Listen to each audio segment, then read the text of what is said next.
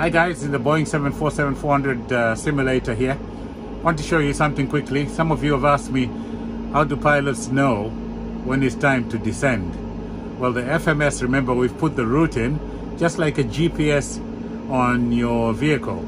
You put where you're coming from and where you're going, and to tell you it will take you two hours or something to drive to that destination. Same in the aeroplane, we put our departure point, we put all the turn points and routes to our destination. We put them in here. This is the FMS. This is the old style FMS, but this is where we put them. We put the route in here. And then as we are approaching the destination, the FMS knows the distance left and it knows the altitude we're flying at, for example, 37,000 feet.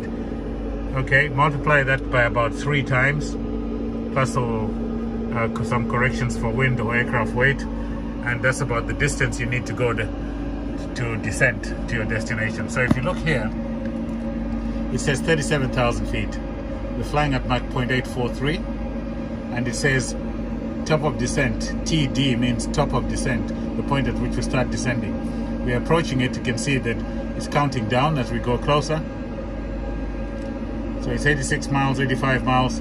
So 85 miles is just on about 10 minutes, cruising at Mach 0.84, just on 10 minutes to descend. So on the passenger aircraft, as this one was, the, the captain would now come up and say, I'll just do a PA to the passengers. This thing here, the, the phone, type in and then press to talk on the PA. Okay, ladies and gentlemen, this is uh, captain speaking. We're just uh, approaching our descent to be descending in about nine minutes at Singapore. The temperature is so and so at Singapore because we've got all the weather and so on. Then I put that there. You put that back there and then that's what would happen. In the cabin, the cabin crew would start collecting things and making sure everything is uh, secure before we start the descent. Because at that point the captain will finish up his uh, PA by saying, cabin crew, you have 30 minutes to landing. Okay, let's have a look at how we're doing with this. So it's now 75 miles away to descend. So I'm going to accelerate it a little bit. I'll accelerate it and uh, take it closer to the descent point so you see what happens when you get there. Let's have a look. Okay, so we're approaching our top of descent now and uh, let's have a look what the FMS says. So according to this, it says we're 21 miles away from our descent point, TD. 20 miles now. It's counting down. And there we are approaching just past Kandla, going towards Kilot on the arrival for Singapore, runway 20 right. Okay, looking out there, it's a nice day in Singapore. Just looking up ahead there, Singapore is way out there.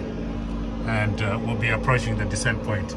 So, about uh, two minutes or so from descent point, the FMS comes up and sends gives us a message. It says FMC message.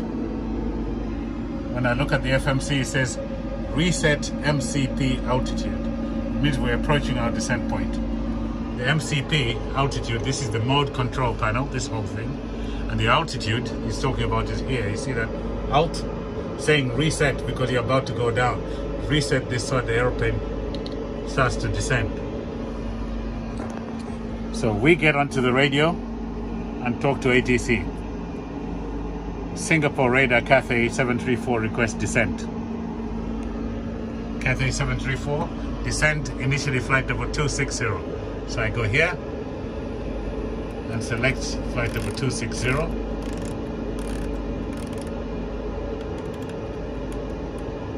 And immediately I select that the alert has gone to say descent and it's gone away from the scratch pad as well. And we're about six miles away from our descent point. So we've set 26,000 feet, that's what we've been cleared to go to initially by ATC. Approaching the descent point, let's see what happens. There it shows it as TD, top of descent. One day it's 2.6 miles away, 2.2 miles now, top of descent. ATC have given us flight level 260 to descend to from 37,000 feet. See that? Now says idle. It means it's bringing the thrust back to idle here. This thrust lever, if you look at it, it's automatically being pulled back by the auto throttle system because we've already told it we have to descend now to 26,000 feet. So you can see that it's all coming back to idle. So in the passenger cabin, you can see the aeroplane start to go down. There it is, it's descending now. We're descending at 2,000 feet per minute. Hold. Looking out there, the airplane's now pointing downward because we're now descending. Okay, so that's how the aeroplane descends. And that's the route we're going to fly. That way, that way, and Singapore is over there somewhere.